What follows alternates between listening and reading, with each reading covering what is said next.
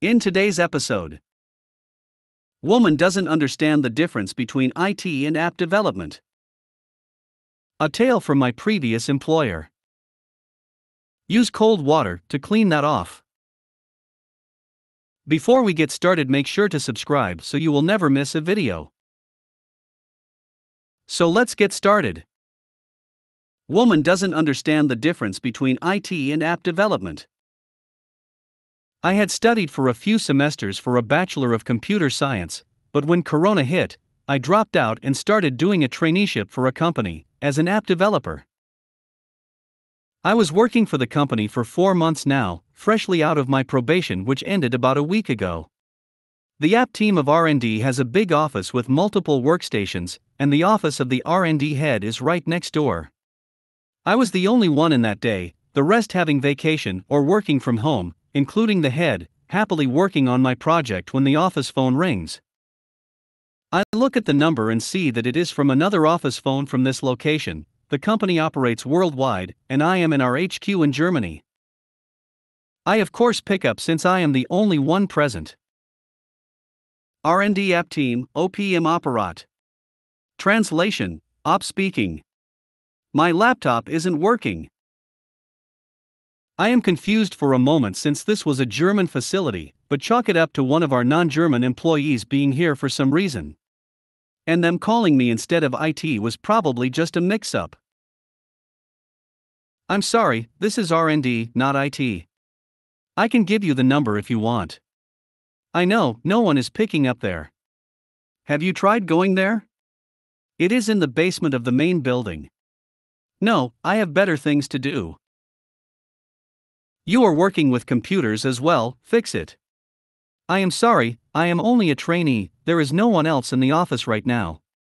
So, I do not have the authority and probably not the knowledge to fix your laptop.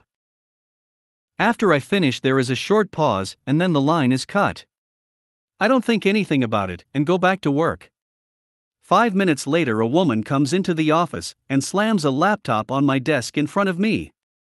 Demanding I fix it, I reiterate that I don't really have permission to do anything, but can take a very rough look if she wants, but nothing more than she has permission to do really. She grumbles and logs in. Immediately, I notice that she has around 70 Chrome tabs open on this laptop. I tell her that is most likely the problem if her computer is just running slowly. Her response is that it is never a problem in her office. I tell her that that is all I can do. A bit of back and forth that comes down to her not knowing the difference between IT and R&D, and she gets up and tells me that my manager will hear about this. I shrug because I know there is nothing that she can do to me. I can't get fired for not doing a job that isn't mine, and my probation period is over. As she leaves, she immediately turns and barges into the office of the head of R&D, who is working from home. She stands still for a moment before glaring at me and telling me your manager will hear of this and he will take action against you. Which in itself is funny because the R&D head is a woman. Once she is gone, I inform my trainee supervisor of what just happened. He tells me I did everything right and can't face consequences. A day later, the head tells me I handled the situation perfectly. My supervisor had informed her about 15 minutes before a mail from the woman came demanding I was punished. How can people not understand the difference between IT and app development? A tale from my previous employer. I happened to bump into a friend from the old days yesterday. I worked, and he still works, in a British government ministerial building, and he told me a tale of full lockdown back in 2020. They had a major shutdown, nothing directly IT related, but an electrical fault that took away all power from the building.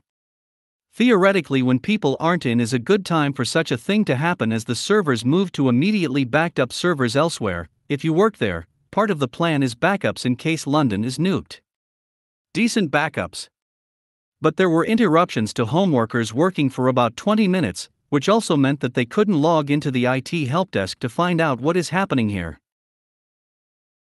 There is an option to log on via Leeds servers and, outside the IT department, only 5 out of 480 staff thought to do that.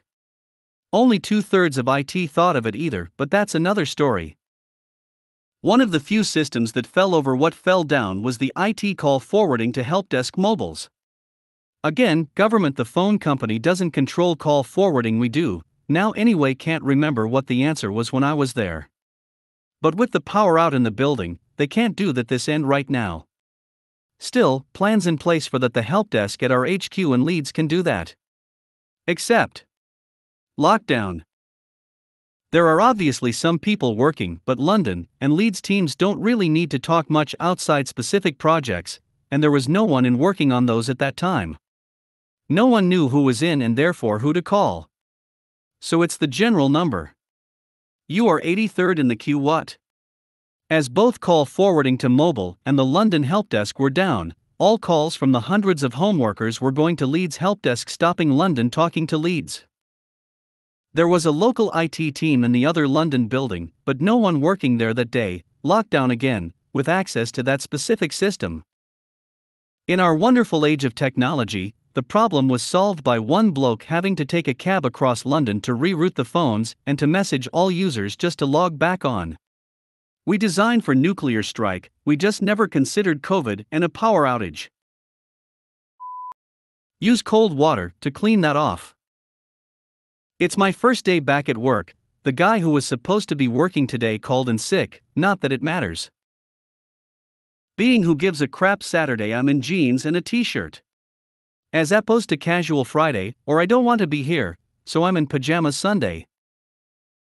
First few tickets I handle with remote desktop connections from the Batcave. Printer not printing issue, a computer that was potato slow and hadn't been rebooted in weeks, she had just been locking her screen when she went home for the day. Great. Being Saturday, I had a few hours, rewatched some Mandalorian on my phone with nothing better to do. Just after lunch, someone puts in a ticket help to change the toner in a copier. The blue toner, there's a lot of these that get handled by people other than IT. It's not a super hard task, but we would rather just do it ourselves then. I'm sure many of you know why. Well, normally it would be time to send an intern, but it's Saturday, so there are no interns. I grab a fresh toner cartridge and carry it up with me. There's a guy dressed in his Saturday best, athletic short stars and stripes Walmart chic shirt. Except he's covered in toner powder, as is much of the room. I'm having one of those moments where I'm struggling not to laugh. Did you call facility maintenance yet?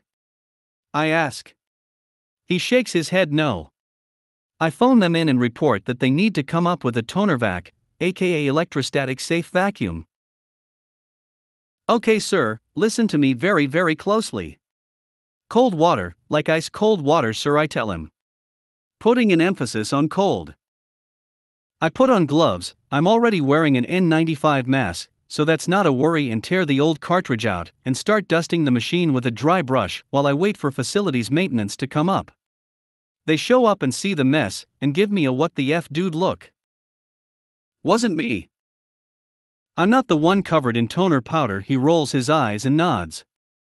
Being a cool guy, he vacuums up the inside of the copier first, so I can get the new cartridge in.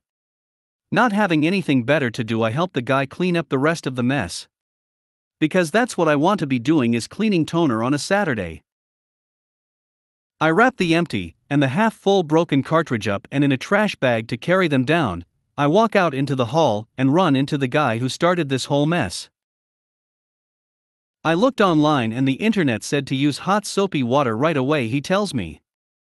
I look at him and the blue toner from the color copier is smeared all over and obviously melted in. First thought going through my mind is that committed genocide in Smurf Village. The guy used paper towels soaked in hot water to try to wash the toner off, and of course, it just smeared it around and got into his skin.